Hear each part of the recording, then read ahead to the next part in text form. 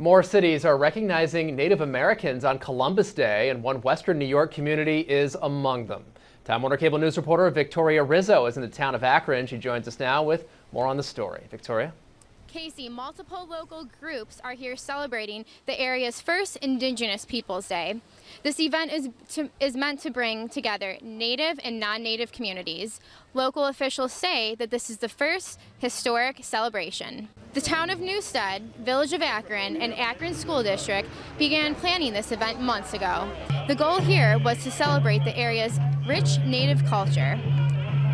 One woman came out to say that she came here to support the peaceful relations between non-Indigenous and Indigenous people. I think there have been strained relationships globally between Indigenous peoples and the colonizers, and this is an effort where people work together to accomplish a great objective, again, of peace, peace and unity. From now on, officials say that the second Monday in every October, there will be an Indigenous Peoples Day.